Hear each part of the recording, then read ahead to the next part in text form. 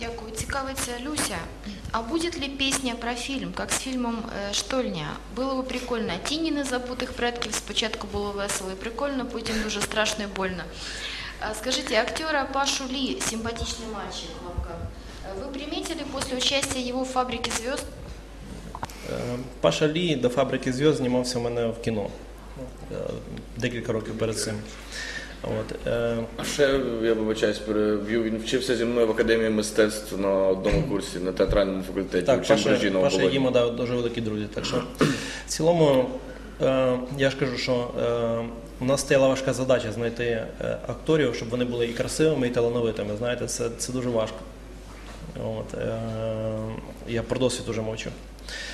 От, і, ем, Щодо пісні, е, я казав, що пісня буде, е, пісню буде виконувати група The Hard Kiss. От, ем, це буде пісня е, з назвою Тіні, з назвою Shadows.